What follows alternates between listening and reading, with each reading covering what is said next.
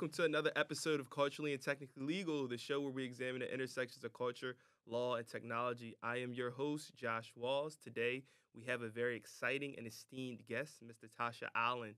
Natasha is a partner at Foley and Lardner with nearly 20 years of legal advisory experience. She's a co-chair of artificial intelligence within the innovative technology sector at Foley and Lardner. She is also the co-chair of the Venture Capital Committee and a member of the Venture Capital, Mergers and Acquisitions, and Trans- Transactions Practices. She also serves as the pro bono chair for the firm's Silicon Valley office.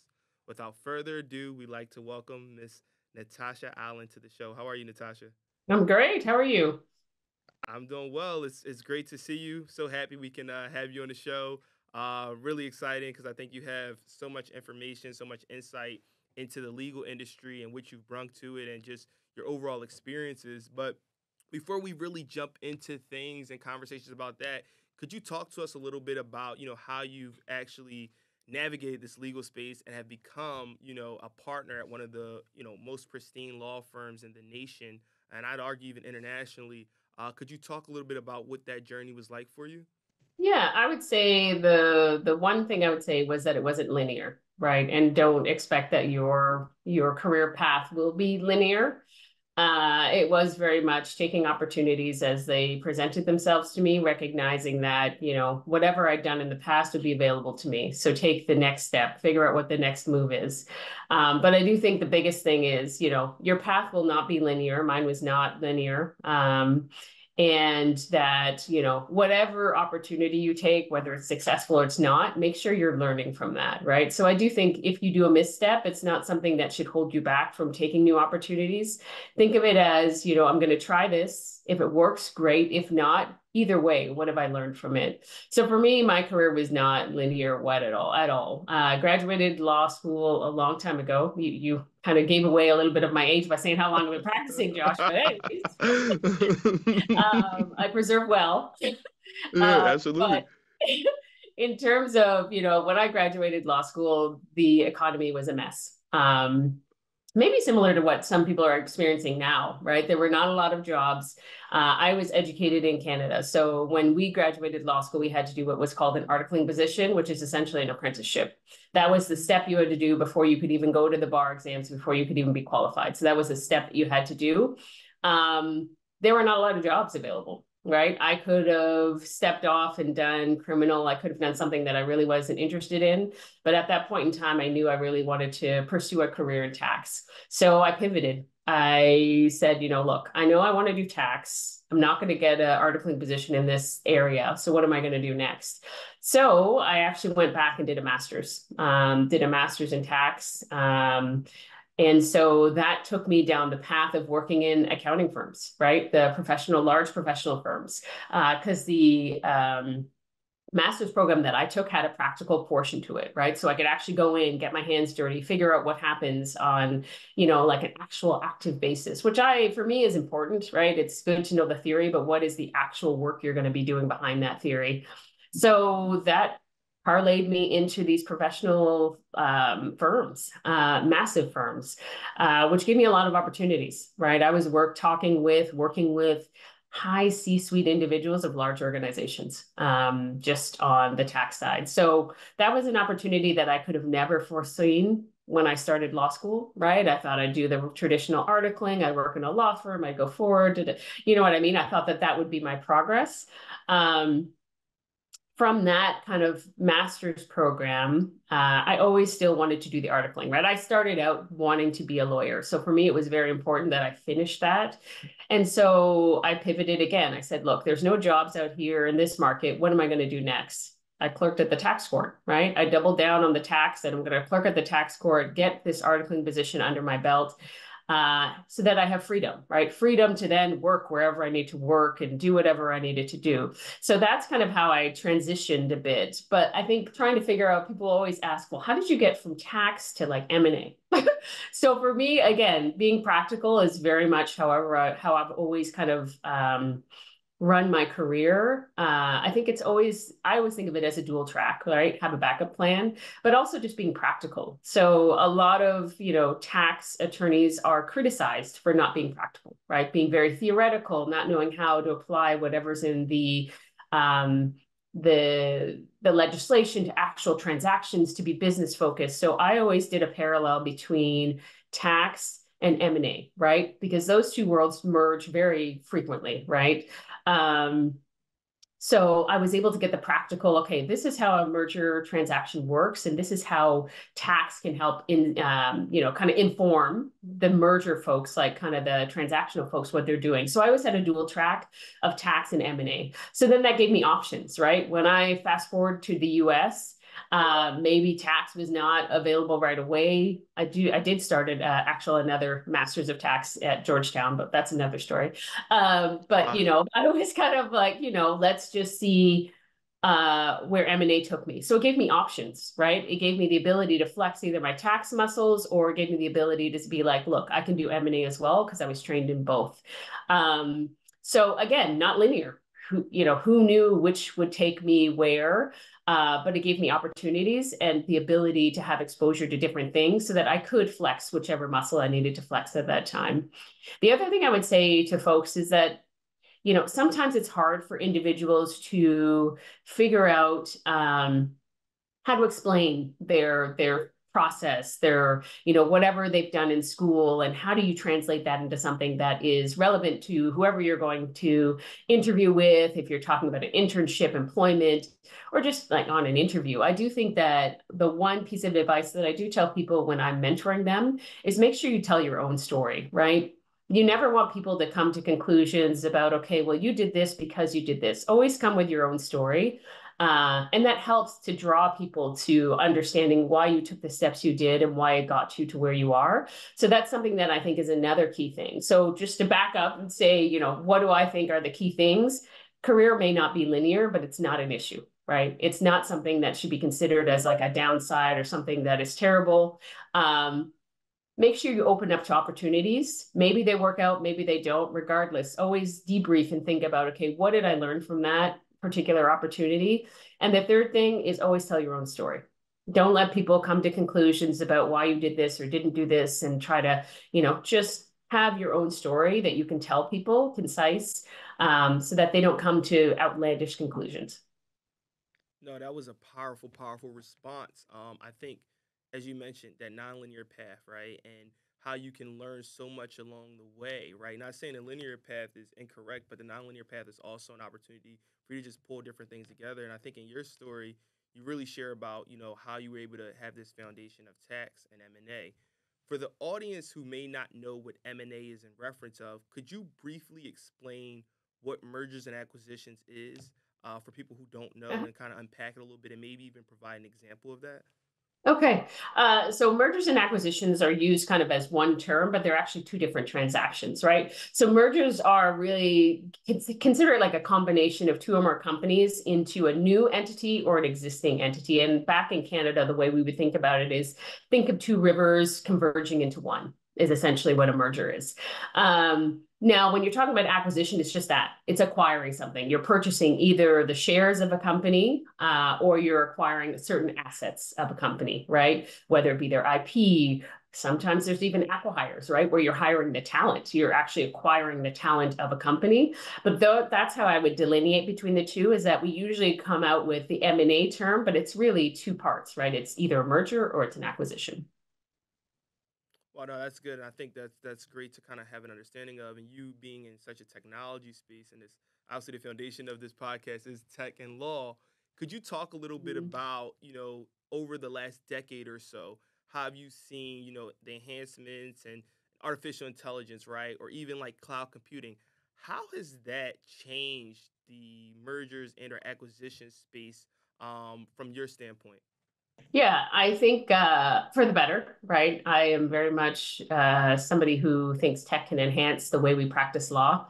Um, virtual data rooms, that was never a thing. You'd have to go play with a whole bunch of paper, go through files. So virtual data rooms are something that has evolved. All data rooms are, are virtual. Um, very rarely do you have people that actually go on site and do due diligence, right? So that's going through the corporate books and records of any company you're going to acquire. Um, we have electronic signatures. there were back in the day, you everyone would get in a big boardroom, have a pen, sign all of the transaction documents, which I know sounds very antiquated, but that actually was a thing. And now you have electronic signatures, right? You send your signature pages around electronically and you can close virtually, right? You don't have to everyone be in the same room. Um, AI, you're seeing is kind of permeating every industry. Um, I would say that for the M&A or even transactional aspect of it, it's being used a lot for doc review, right? So being able to pull out different uh, provisions, you can focus on different um, uh, topics that you want to have actually highlighted in specific agreements. And if you're thinking about this, right, if you are acquiring a huge entity and you have thousands of documents, and that's not an outlandish number. There are some transactions in which you are being asked to review thousands of contracts. It helps to focus on which documents you should be focusing on, right? Um, so that's way one way is like during diligence is how you're seeing like AI and tech being used to kind of help the process in terms of M&A transactions. Oh no, that's interesting. And and could you also talk a little bit about, you know, some of the challenges we see in this space? Obviously, their regulatory approvals, you know, uh, some confidentiality breaches that could occur, uh, limited liability issues, you know, IP issues, and as you mentioned, you having this expertise in cross cross you know border M and A transactions. What challenges, even the ones I mentioned, or just challenges that you would kind of speak on overall, have you seen, um, particularly in this space?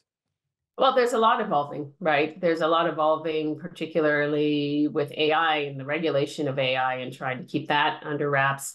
The Federal Trade Commission has been pretty um, active. Uh, so there's the uh, HSR Act, which think of it as like the Antitrust uh, Non-Competition Act. So the Federal Trade Commission has been very active in terms of updating what the filing requirements are, updating what the limits are with regards to when you have to report. Um, and so what this legislation is trying to say is that they don't want large organizations to take over entire industries, right? They're trying to keep things competitive within the uh, commercial landscape, right? So that consumers do have different options so that they can engage with smaller, larger organizations and the larger organizations aren't just swallowing them all up. So what the HSR does is if you hit, your transaction hits a certain limit, you have to get authorization, approval, you have to do filings to ensure that you can actually move forward with your transaction. So there's been a lot of movement with the FTC in terms of the HSR Act. Um, so that's kind of, you know, impacting how transactions are working and people are just paying close attention, right, to these changes because it is significant. Um, there are limitation of liability, you refer to that. So that's a particular clause that you see in most documents outside of M&A as well, like commercial contracts have limitation of liability clauses. Uh, and close attention has to be paid to that because essentially what these clauses are saying is that if certain actions happen, we are going to cap the liability, the cost of those actions based on whatever we put in this agreement, right? So you want to make sure that this provision is not over encompassing, right? Um, sometimes things shouldn't be capped, right? What if somebody was fraudulent? What if someone did an illegal act? Why would you cap that liability if somebody did something intentional? So that's something that, you know, as you're going through these um, transacting documents, you pay very close attention to, like what is encompassed in the actual limitation of liability versus what should be excluded. Um, you have um, you know, some uh, another trend that was gone and is coming back a little bit is you'll see some of these transactions have what we call rep and warranty insurance. So in any type of transaction, uh, and in most agreements as well, the reps and warranties are probably pretty much you can think of them as promises. So the the seller, the buyer, uh, whoever, at a particular point in time, are making certain promises and admissions to the other parties. And so usually you do extensive diligence, right, to make sure that whatever is being disclosed, whatever you're saying is a true statement, is a real true statement in the rep and warranty. But some organizations, some companies, some transactions are just preempting this by just getting rep and warranty insurance. So essentially that means if a within certain parameters, right? Because it is insurance. So they do their diligence, they make sure that things are, are in order, but you don't have to go through the extensive diligence, right? You can rely on the rep and warranty insurance if somebody is um, breaching a rep. So there, those are just different flavors of certain things you'd see. There's a whole myriad. Like I think when you're doing M&A transactions, the indemnification provision is a key thing. Like how is, are people indemnified? Who is indemnified? Um, and in what circumstances. So that's a key provision that you would look at in an M&A, M&A transaction. Um, and there are others. Um, some of these documents can be super big, like they can be hundreds and hundreds of pages. Some of them are very small. It just depends on the size of the transaction. Um, you know, whether it's a merger or it's an acquisition, right? Um, and just kind of what are you acquiring? No, I, I agree. I think that was that was a, that was insightful, um, especially when we you just I think providing that different perspective in M and A. Um, to switch gears briefly a little bit, you know, prior to you joining Foley and Lardner, you were you know the partner and CEO of your own firm. Uh, recently, you were asked in an interview, who's your favorite female CEO or who's the female CEO that you admire the most? And I loved your response. Uh, your response was Serena Williams. Could you share why you responded that way? Uh, I'm a big Serena fan. Uh, always have been. Love Serena. Everything she does. You know, one of my favorite movies as is King Richard, where it kind of tells the story of her upbringing and how she becomes this successful tennis player along with her sister and her her father's influence. But just talk a little bit about why Serena Williams, your favorite CEO, and just give the context to that. Yeah, I think uh, a lot of reasons. I do think that uh, previously I'd been asked like, what is the number one holdback for women? And I said it was access. And I think what Serena has done is she has shown, first of all, created access for herself, right? Tennis at the time when she was coming up was not accessible to people who look like me, like her, whatever it was, right? So she had to create, her family had to create that access. Um, but also showcasing to others that you know this is possible so it wasn't only her access that allowed her to be successful it was also showing other younger girls other younger individuals that wait a minute maybe i maybe it won't be tennis but it could be something else that I can build my own access, right? So that I can get those opportunities. Um, maybe taking the traditional route, maybe not, but I can build my own access. So I think that's the key thing that for me is kind of her personal story. Um, in terms of how it was to kind of build that access and to build on it, right? So evolving is another thing, right? I don't, I think I've kind of alluded to this in the beginning. I don't think our careers are static. I think they're consistently moving. I think they're consistently evolving.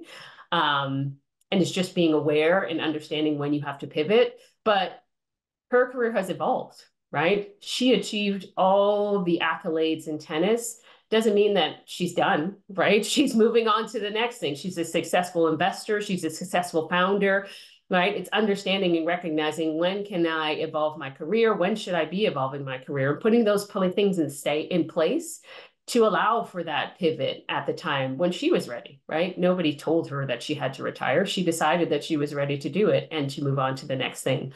So that's kind of you know the main things uh other and motherhood right? She did all these things and she has two young girls. Um so that's why i picked serena. Maybe people think it's unorthodox and i should have picked somebody else but for me those are the reasons why i thought it was very much she was the one that i think is is the one that is uh very very um inspiring.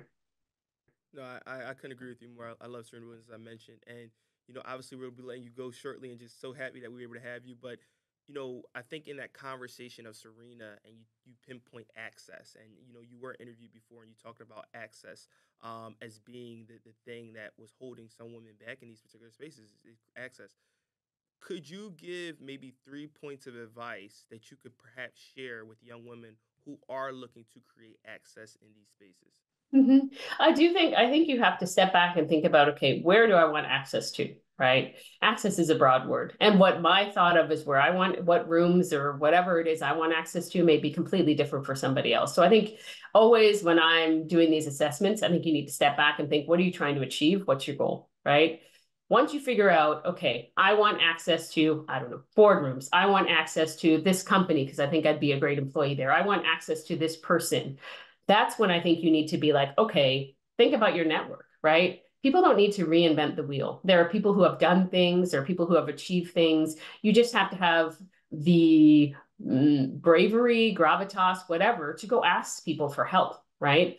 Most people, I would say, are willing to give help. Yes, you will find those people who are going to say, you know, too bad for you, good luck. But I would start with who are the people in the positions or have been in the positions that I want to gain access to, right? Get the information from them. How did they gain access to those rooms? How did they do whatever they're doing? You know, that kind of, of discussion just helps to figure out, okay, what do I need to do to navigate? And then to make the decision, do I really want to access these rooms, right? If it's going to take X, Y, and Z, is this really what I want to do? Or is there something else that I want to access that maybe could get me to the same place, right? But I do think the the main goal, the main step is to step back and be like, what am I trying to gain access to, right? Like, what is my game plan? No, I agree with you. I think, you know, having that strategic game plan is so important. And I'd really like to thank you once again for joining us today. It was so great having you. Great dialogue, great Absolutely. conversation. Uh, definitely looking forward to staying in contact with you. But thank you again, and I really, really appreciate the time you spent with us today because you gave us a lot of insight, a lot of perspective, and I think great advice to kind of go up there and take over the world. Absolutely, please. I'm I'm everyone's number one cheerleader. So I appreciate that. I agree with that. I agree with that. And thank you for watching another episode of Culturally and Technically Legal. Today we had a very esteemed, impressive guest, Miss Natasha Allen. Uh, be sure to be on the lookout for the next episode. Have a good one. Thank you.